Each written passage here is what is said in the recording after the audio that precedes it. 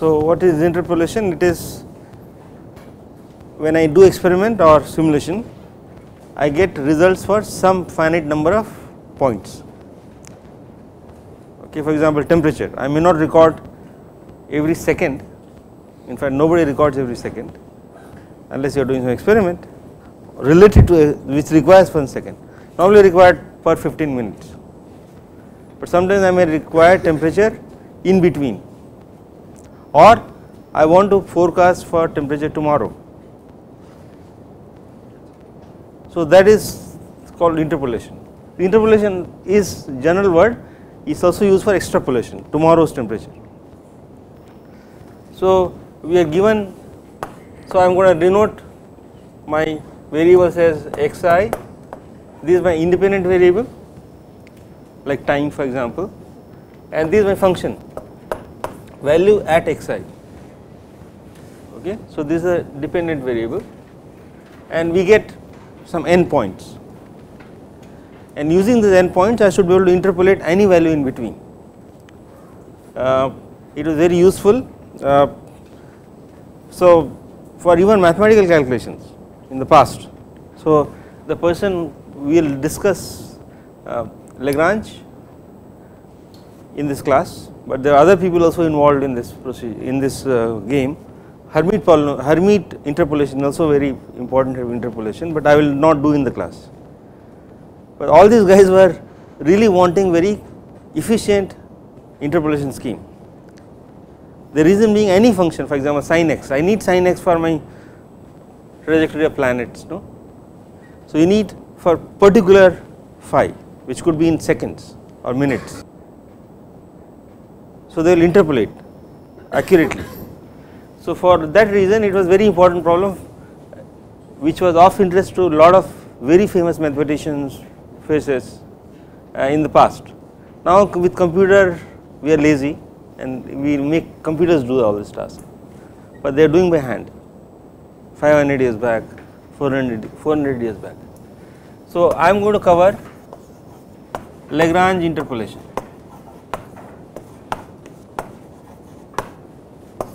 And the same Lagrange of mechanics. So the idea is quite simple. So suppose I have two, so let us first understand for two points the formula how we how we can write this interpolation. So I am going to draw this x axis y axis. So I am going to call them x0 and x1 right by following this notation and value of the function is y0 and y1 y0 y1 now I may want value of the function anywhere in between for, for this x or this x or outside. So I need a formula. Okay. So for two points is easy. Linear interpolation. So I just make the function which is linear. Well I do not have the choice. I do not have any other point. So linear interpolation is a valid interpolation or in fact only available interpolation with two points. So now the way to write this in a, in a very systematic or very transparent manner is so so play attention huh? so how am I going to write so x uh, so I am going to write like x minus so x minus x 0 So now uh, if I put x1 I should get y1. So this is so well of course you can make a linear function no passing through the, these two points but I want to kind of automate this for more points. So so this is linear in x it satisfies the value of the function uh, at the condition I need to demand is the function I am going to write is well let me just make another remark. The function which is really the function like temperature for example passing through these two points is f of x. But I do not know that function. I really do not have access to that function. But I am approximating this by a polynomial. And is a polynomial. Okay. So, what I am writing is P1 of x. So, first order. Actually P2 of x, second order uh, sec first order polynomial involving 2 points. Now, this one of them. So, what should be other point? So, should be x1 minus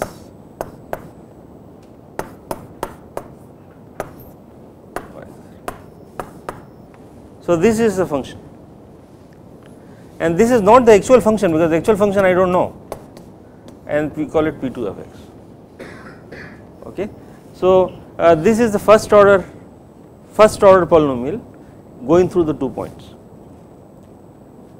Now, we can easily see what are the properties of this function that P2 at x0 should be if I put x equal to x0 this becomes 1 y 0 and this is 0 right p2 of x1 y1 so that is satisfied now this part this function we call it L0 and L1 L1 now let us generalize it to n points now, this motivation is clear how we write the function. Now, I want to write for n points. So, my points are xi to xi comma yi. i goes from i goes from 0 to n minus 1. So, if following Python notation, so its index starts from 0. So, the idea to write this this function, so we write this p n of x as it involves lots of points. So, I am going to write this as y of j sum L j of x. So, j is a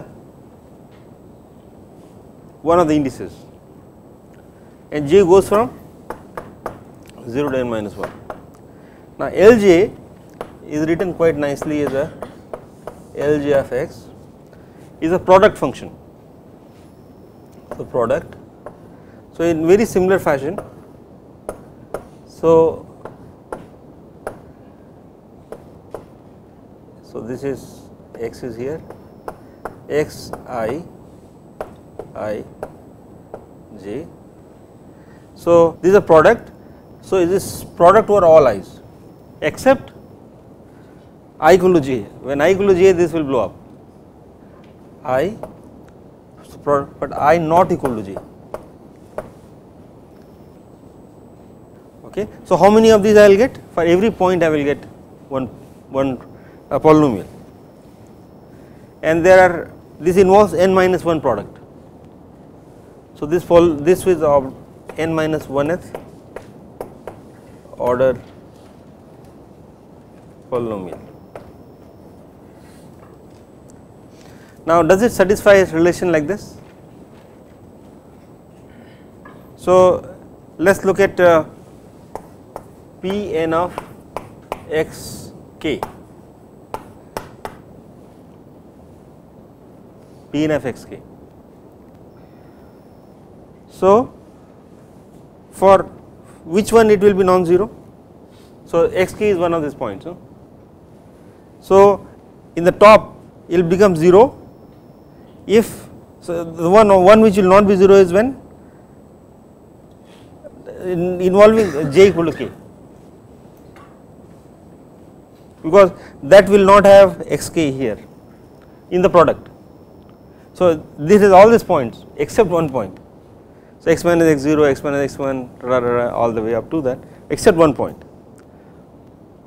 So, if xk is involved in any of these products, so there are n uh, there are in fact n of them that will be 0. The one which is non-zero is where xk is not there and then in fact that becomes 1. So, this function will just give you y of k because this Lj of xk satisfies the property delta function delta jk. Okay. So, uh, So, this is a very useful function and your polynomial required polynomial which Lagrange provides us is this. Now, using this we can interpolate to whatever x you like. Of course, for some x the error is more, some x error is less. Now, how do I estimate error for this function? Now, somebody gave you the uh, answer, but now we should be able to get the error. So, estimating error is not a I mean I, I will do full mathematical derivation for this what is the error estimate for this which I will not do it for lot of other algorithms, but for this I will show you how to estimate the error and it is done by using Rolle's theorem. So, this is part of your analysis no, first year or so we will use Rolle's theorem to uh, to to get an estimate on the error. So, I will I will do well I will do little bit slowly uh, I will also prove Taylor's theorem okay for the which is not exactly related to this but I will prove Taylor's theorem and that will be springboard for analyzing error for Lagrange polynomial. So is the Lagrange polynomial clear? So this is my interpolated function. Okay, so we are going to take a detour So, detour is to first get error for Taylor's theorem. Now, Taylor theorem is just Taylor Taylor series and Taylor series is written in slightly mathematical manner which involves error as well. So, first we need to uh, Rolle's theorem. What is Rolle's theorem? So, suppose I have a function which is 0 at 2 points a 0 at point A and point B. Then I can claim is a continuous function and differentiable function. Then I can claim that there exists a point C. So, so there are a lot of symbols huh, in mathematics. So please remember this is a product like series this like everybody knows this uh, this symbol product. So this involves so let me just write this so the symbol is very critical. So if I have two point uh, th uh, th three points then I will have term like x minus x 0 x minus x 1 so this is product. Now I have the symbol called there exists. So this is shorthand. So there exists C such that f prime the derivative at C is 0 so, there is a point in fact the point is here and where it will be 0. Okay. Now, uh, this can be generalized when so I assume that f a is 0 and f b is 0, but it need not be 0 for some other function. So, it has value f a and f b then whatever function it may be there I can get there exists at least one point there exists a point C such that f prime C this is called mean value theorem okay? And what is that? So this is A and this B. So FB minus FA so there exists a point C. I do not know where that point is but there is a point C. Okay? And this will need to prove our error estimate or well get a formula for error estimate. I would not say prove get a formula for error estimate. The Taylor series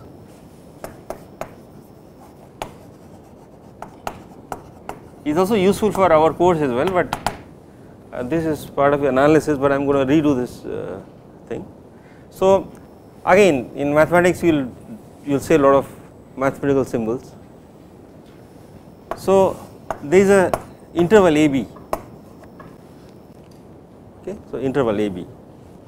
Now, I want to get value at any point x. So, Taylor series you know that I do near a point x 0 okay there is some point x 0 and about which we expand right. So, that is Taylor expansion. So, we write f of x is f of x 0 plus f prime like this and this goes up to uh, higher order terms. Now, the Taylor's real Taylor statement is so the function is continuous between a and b. So, let me just write this statement. So, now this is not the acceptance Taylor, it is only approximate statement of Taylor. What Taylor says is that function is continuous between a and b and it is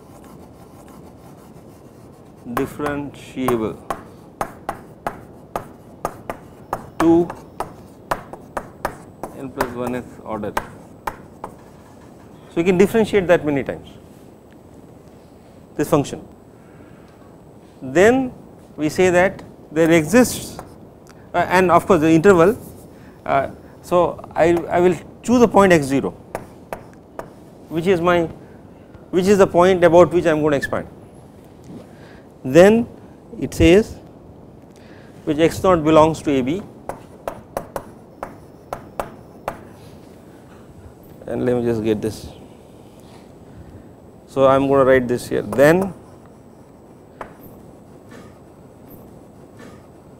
for every x belonging to a b there exists a zeta x between x naught in x such that f x is so this is my real function but I am approximating this by a polynomial p n of x nth order polynomial plus a remainder this is a remainder remainder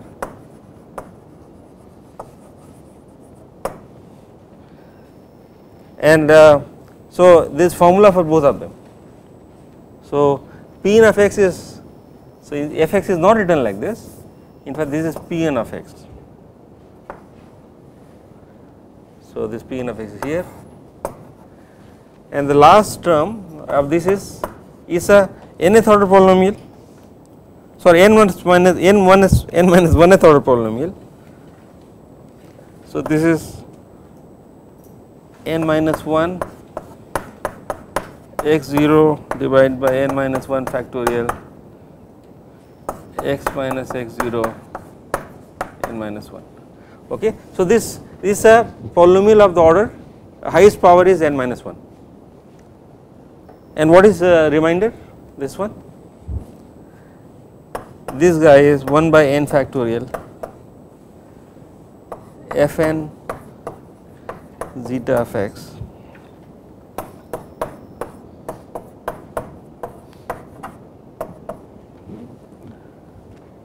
So, this zeta of x is coming here that point there exists a point.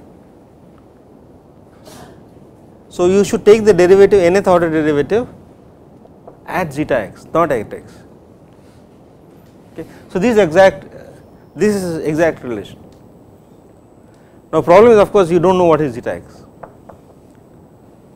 there exists does not mean that I know where, where it is okay, but we can pick, make a bound on that. So, I can make an say that well this number lies between a window and that will give a bound on the error. So, that is what you can say you cannot quite figure out most of the time what is zeta x. So, shall we do the proof you done in your math course one, one math proof I would like to do. My function fx which I do not know I am approximating it by a polynomial and a remainder and polynomial is that Taylor series which that we use, but there is a something which is an error. An error will be of this form. And zeta x lies between x uh, between uh, zeta x lies between x naught and x. So, if I draw this so a is here b is here x naught is here x is here. And uh, my zeta will be somewhere here zeta and that is a function of x. That is a problem for every x zeta x will be different. Okay so the proof So, I have to look at this notes. So, construct a new function g of t.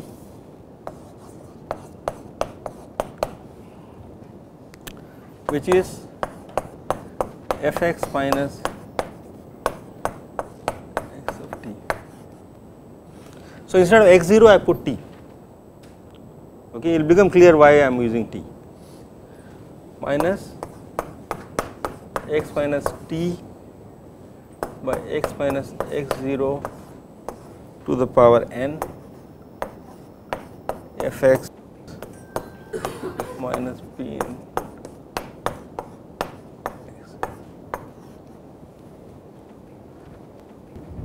So, this is my function. So, x naught x, so I am focusing on this region and my point t is somewhere here. In fact, I want t to be zeta. Okay. Now, what is what is the value of g of x 0? So, at x equal x 0, this becomes uh, 1 and this becomes f uh, x 0 and so it is 0. What about g of x? So, I make it, so this 0, okay. So, t of x 0 and here uh, g of, so p of x x is same as p, so x equal x 0 so that is f of x right so that is f of x by definition. So that is 0 so i can use Rolle's theorem now. So the, at these two points my value of g of t is 0 so use Rolle's theorem and seeing that there exists a point there exists a point c where the derivative of g prime is 0 I will call it zeta instead of c. So, there exists a point zeta where g prime zeta is 0. So, now so instead of t I have to substitute zeta and take the derivative. So, I will get f prime of x. So, I have to well so I have to take derivative with relative to t. Okay, so this is not there. So, p n prime x. So, this with relative to t is zeta equal to. So, this should be 0. So, I am going to take it right hand side. So, take the derivative of this with relative to t. So, that will be n x minus t n minus 1 divided by x minus x 0 to the power n. Uh, actually, let us put this plus sign here. So, this minus minus gives you plus. So, f x. So, nothing happens to this, no? p n x comma x 0. This is equal to 0. Now, what is this? Uh, so, let me write this as d by dt and I substitute t equal to zeta. Now, what is this object? So, my p n is here. I take with related to. So, this the p has two arguments. Huh? So, right now I did not write it, it was x 0. Around which point are you doing it? Now, instead of x 0 I do t and take the derivative. So, if I take the derivative what will I get? So, let us just look at few terms. So, d by dt of x comma t. So, this is f prime. So, instead of x 0 you should put t. So, f prime of t plus now this is going to be f double prime f double prime of t x minus x 0 plus product rule. So, this is f prime x t sorry, and derivative of this so that gives you minus and this will cancel. So, lot of this cancellation will take place. So, f double prime will cancel with the next term and all the way and finally we are left with derivative of this. So, this part you do it as homework okay. So, just do it at home. So, this term when I do all that analysis comes out to be f n zeta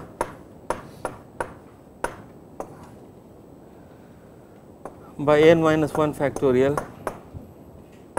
x minus zeta to the power n minus 1. Okay. So, this is the derivative at zeta. Now, did I miss a minus sign? I think it is okay, right? There is a minus, there is a minus sign here, there is a minus sign here.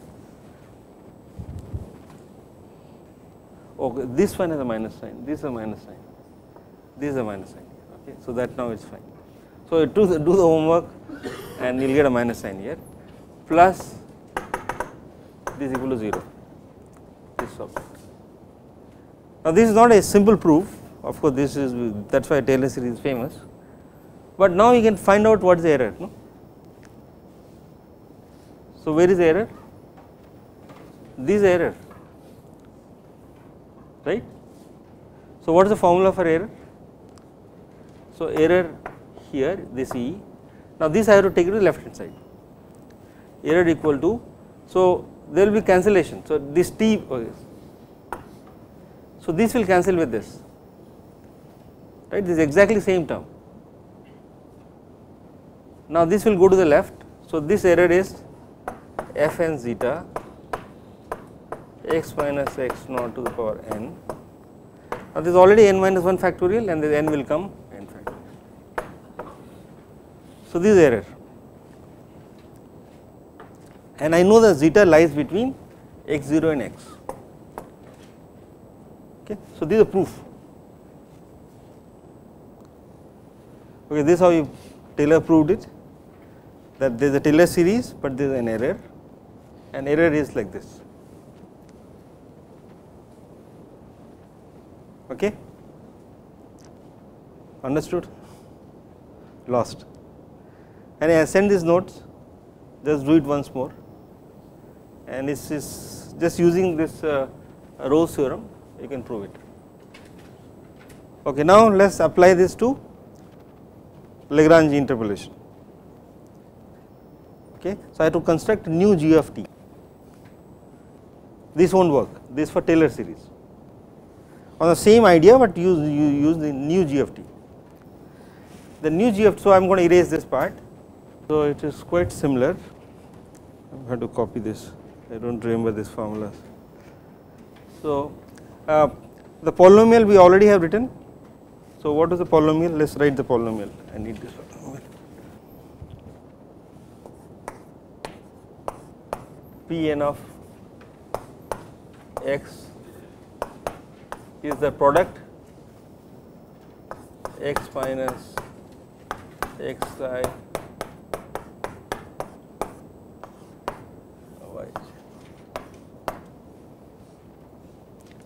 okay. So, this my polynomial which I am approximating which using which I am approximating function. So, so this is my polynomial. So, I am just going to write this as uh, p of t. Now, f x minus, so this is p of x, no x 0, I am not expanding around any x 0 and this function is replaced by product. P minus xi x xi and this product for all i's. There is no division by 0 problem now. All n points okay this is my GFT now this GFT is 0 at many places. Okay so is 0 at what about g t equal to x? So, if you put 2 equal to x i, this is 1. So, this becomes equal, right f x minus p n t. So, is 0 at all x i's and how many of x i's are there? n of them. So, is 0 at n points. So, if I make this line at all these points x 0 this function is 0. What about g of x? Equal so you put this equal to x. So this again is 1 okay did I make a mistake no I, I did it I did okay. So this is 1 and this is uh, 0 this equal to that. 0 so I think I did make a mistake. So at t equal xi this is 0 and f of x equal to p n of xi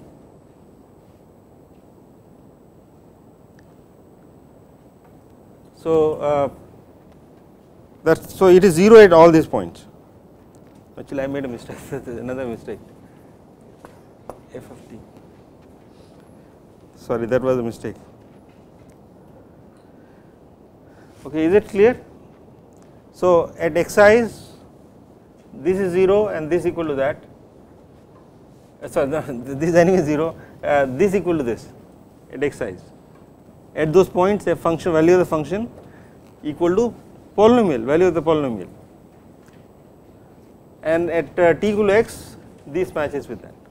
Okay? So there are n plus 1 points where my g of t is 0 so now apply Rolle's theorem how many times? I keep applying n times. So first time I get polynomial n minus 1 and third polynomial. There are n n zeros not n plus 1 n zeros.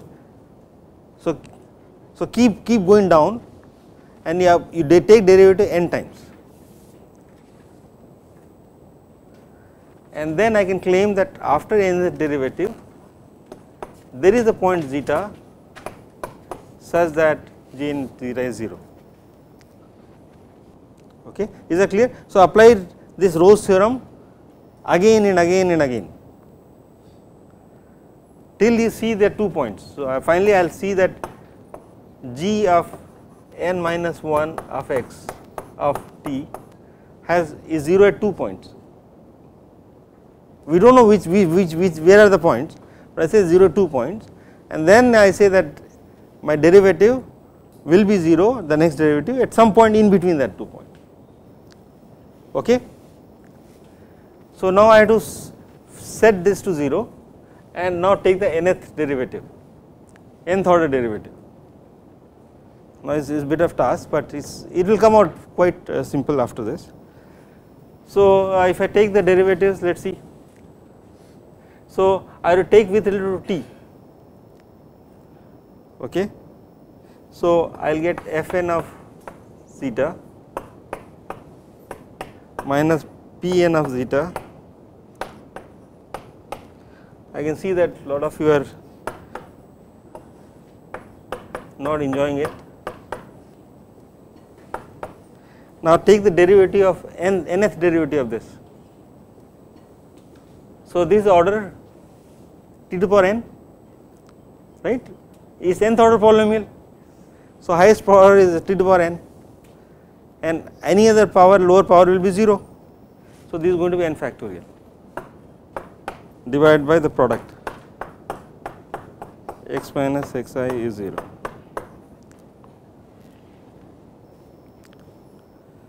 Now this Pn uh, so the P is of what order? This P of t n minus 1th order. Highest power is x min, uh, n minus 1 so this is 0 so now I have the error no? So what is the error? So this is my error. So error equal to fn of zeta product x minus xi by n factor. Okay. So, it is not it is not very difficult, uh, but uh, you just have to go through this several steps.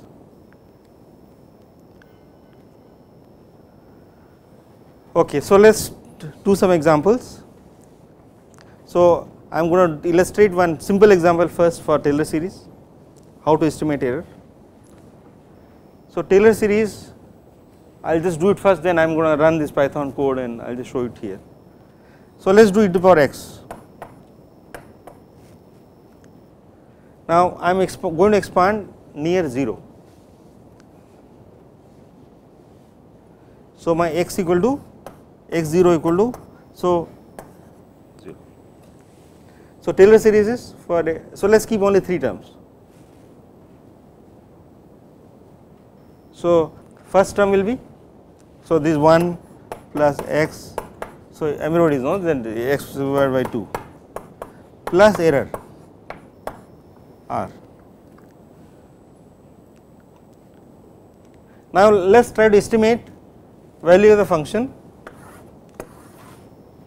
e to the power 1. So, the what is the, according to this what is the value without error I mean if I do not worry about the error 1 plus 1 plus half 2.5. Now, how do I estimate the error? So, I have to see this error. So, can I get an estimate of this? So, my error is 1 by n factorial. So, I have done up to 2. So, n should be this 2 factorial no? N is 2 so the, so I have to do 2 factorial. Is it 2 or 3 3 3 so it should be 3 factorial no? So uh, this is I am going up to uh, so yeah so uh, I have gone up to squared so that this is three, th third factorial. X minus x 0 squared. So next is x minus x 0 cube. So 3 factorial a derivative nth order derivative. So, it is going to be just e to the power x, but the at point zeta which lies between 0 and 1. So, zeta is somewhere here x to the power n will be uh, x cube, but x is 1. So, this becomes 1. Now, I get something to the zeta by factorial 3. So, what should I do with it? So, I make a bound on this. So, what is the maximum value of E? So, so I have to say well this function zeta well zeta could be close to 0 or close to 1 anywhere. So, I have to just estimate from here if it is close to 0 then value of the E is 1 by 3 factorial 1 6 E near 0 if zeta is near 0. What if E is around 1? So, E by factorial 3. So, that will give you E by 6. So, my function is bound am I getting it right? So, my function is bound between so well this is bigger value. So, yeah I have put a bound my error is lying between 1 by 6 to e by 6 am I making a mistake that seems correct. So, point 1 okay so this is correct so this is point uh, yeah so if you put it right it is correct. So, e is 2.71 yeah so these are lower bound so, is well I mean just to get this uh, uh, thing right E lies between 2.5 plus 1 6 and 2.5 plus E by 6. Now, of course, this is a trivial problem where I can get this bound quite easily, but you can also get this I mean if you do it carefully you can get the bound I mean this is not a big big problem. Okay. Now, let us do I have something like 7 minutes. So, let us quickly do one problem with Legendre polynomial. Let me just first without going through the code I, I can run the code very easily. So, I am taking 1 by x an example 1 by x is a function. So, this is for illustration that I suppose I know the function 1 is 1 by x. Now, I take several options. So, I take two points. So, please remember. So, 3 4 I am computing. So, I am going to uh, construct a function using 2 points, 3 points, 4 points that is what I will do. So, here uh, the blue curve is using point 3 and points 3 and 4 okay. So, at point x equal to 3 I get value 1 third which is here 1 third is uh, here 1, 1 1 third here okay and at point 4 I get uh, 1 quarter uh, which is here. Is that clear to all of you? So, I take these two points and I have two values 1 third and 1 quarter. Now, well I mean I have given only these two values and I make an interpolation. Now, I, well suppose you do not know what this function f of x is, but I given these two points I can make interpolation and that will be a straight line the blue line. So, there is a straight line which is the first order polynomial P 2. Now, somebody says well I will give you more points. So, I will give you points values at 2 3 4. So, 2 3 4 is I give the value at 2 which is uh, 1 by 2 which is 0.5 3 and 4. Now, there is a line going through that. A line going through is pink the pink line. Okay, which is kind of so 1 by x is white line. The real line is one uh, white line. And my interpolation with 3 points is doing quite well right? I mean we agree with that? The pink line and white line are quite close. I can also do interpolation with 3 4 5 so, 3 4 5 instead of using 2 I can use 3 4 5. So, that is a yellow line, yellow line is also doing reasonably well. Pink line is off here and yellow line is off here. So, interpolation is good for the points in between those points given to you. Extrapolation is always bad and the reason is because of this product x minus xi if your x is outside this region of xi's that means lower than lower uh, minimum of xi's or higher than maximum of xi's you will get more error. So, you have to be careful interpolation is good extrapolation is not so good. Now, if I use 4 points which is red or light red brick color which is fitting well all the way okay in the in this band so, fourth order is because I am using four, points I can get cubic order accuracy it is a polynomial. So, I am able to approximate my function 1 by x by a cubic order function. So, this is how I will show you the code in 1 minute. Now, error. So, these are the error for those 4 polynomials. Error you can see that uh, for 2 points is bad lot of error I am putting with sign I really should put absolute if you like, but I am putting with sign it is not good Yellow is not good in this regime and the pink is not good in that regime, but red is good all the way. So, this is telling you the error. Error this error was computed by I know the real answer minus what Lagrangian polynomial gives me. I did not use this this formula because I do not know what zeta is. So, I cheated I mean I am no I am getting error from the exact value and these are the value of the function. Now, here min max I applied this these ideas I am now putting a bound. So, now I know the derivative since I know the function f of x. In fact, if you do not know the function then derivative calculation itself is the tricky part no how will you compute the estimate of the derivative. But I know the function so this is the table which tells you that this is the value of the function error is decreasing. So, my error is always between these two bounds. At the midpoint is not none of them are doing so badly though. This is the value of the function at 3.5 and 3.5 all of them are doing reasonably well I mean the, the difference is not so much because it is just lying in between the 3 and 4. Okay, so let us look at the code quickly okay now it is probably too tiny for you to see. Um, so this is the loop. Now Lagrange interpolate given the x array and y, uh, y array. So I give the array x, uh, so this is set of xi's and that is set of yi's and I have to give the value of x where I want to interpolate. So, this will give a number it returns answer. Now, this is denominator xi minus xj minus xi remember xj minus xi and this is numerator j not equal to y. One is product other one is the sum. So, here this is a product this one now the outside is a sum I am summing over all j's so all yj remember so this is the formula I am using.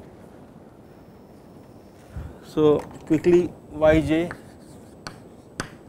sum Lj of x. So, uh, this part is Lj, this will give me Lj and uh, then I have to sum over i, uh, sum over j. So, sum over j, so please use index. I and j are reserved for loop indices. And this will do the work. Uh, to estimate error I have put this product function which is x minus xi, so I put some comment here okay. So, this, this one does the job and uh, this is how I generated those plots. So, for 2 points it is easy. So, my x array is 3 4, y array is 1 by 3 1 by 4, my answer is 1 by 3.5 I am estimated at 3.5. So, I can estimate by Lagrange interpolate that function. So, I should use function for this because I can reuse it uh, all the time and uh, my answer is estimate and test x, test x is 3.5 okay. So, this gives me that stuff. So, it is easy I can do with any point. So, I will leave this code, but you should be able to write this code. We can also do it for 2 dimensions. So, this interpolation in 1D This is easy, but uh, I mean you have to again. So, all these schemes you know it may look too simple or it may look too complicated. You have to just stare at it once more and code it yourself, write your own program and then you will understand it. Okay. So, I will stop